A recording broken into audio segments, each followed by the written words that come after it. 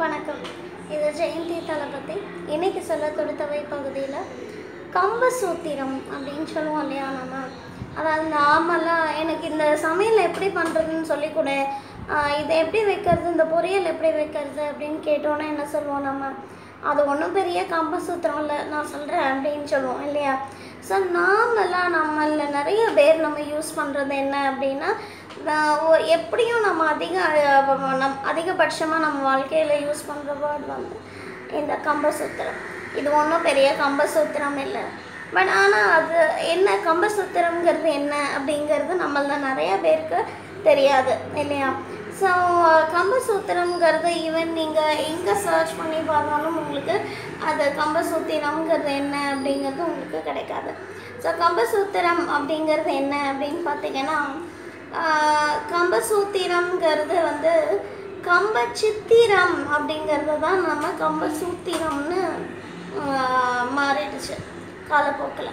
So அப்போ கம்ப சித்திரம் அப்படிங்கிறது என்ன அப்படின்னு பார்த்தீங்கன்னா நம்ம கம்ப ராமாயணத்தை பற்றி தான் சொல்கிறாங்க அந்த ராமாயணத்தில் வந்து ஒவ்வொரு வரியும் நீங்கள் படிக்கும்போது ஒவ்வொரு வரியிலையும் பல அர்த்தங்கள் பொதிந்திருக்கும் அதில்.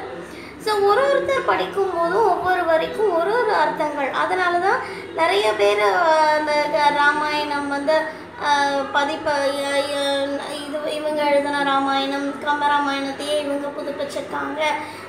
எடிஷன் நியூ எடிஷன் போட்டிருக்காங்கன்னுட்டு பார்த்துட்டே இருக்கும் ஸோ அவங்க எல்லாம் ஏன் ஒரு ஒருத்தரும் அந்த ராமாயணத்தில் சொல்ல ஆல்ரெடி ராமாயணம் எழுதியிருக்கு.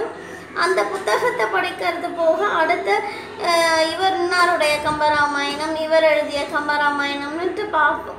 எப்படி அது வித்தியாசப்படுது அப்படின்னு பார்த்தீங்கன்னா இப்படி தான் ஸோ அவங்களுடைய ஒரு ஒரு வரியிலையும் தனக்கு அது என்னவா தெரியுது?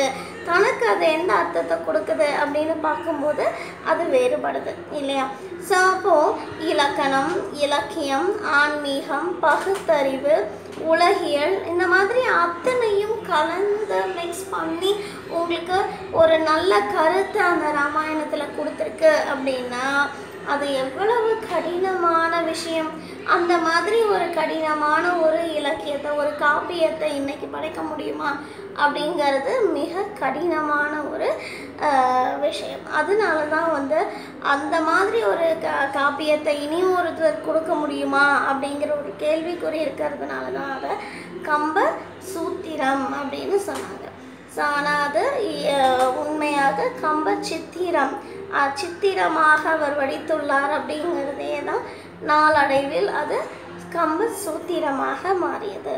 ஸோ கம்ப சூத்திரம் அப்படிங்கிறதுக்குன்னு பெரிய எதுவும் கம்ப சூத்திரம் கிடையாது இல்லையா? ஸோ கம்ப சூத்திரம் அப்படிங்கிறது கம்பர் எழுதிய கம்ப ராமாயணத்தை குறிப்பதாகும். அந்த ராமாயணத்தில் உள்ள கடினமான வார்த்தைகளை ஃப்ரேசஸ் யூஸ் பண்ணி அவர் எழுதியிருக்கிறதுனாலையும் பல அர்த்தங்கள் பொதிந்துள்ளது மாதிரி இருக்கிறதுனாலையும் தான் அதை நம்ம கம்பச்சித்திரம்னு சொல்கிறோம் அதுதான் கம்பசூத்திரம். நன்றி.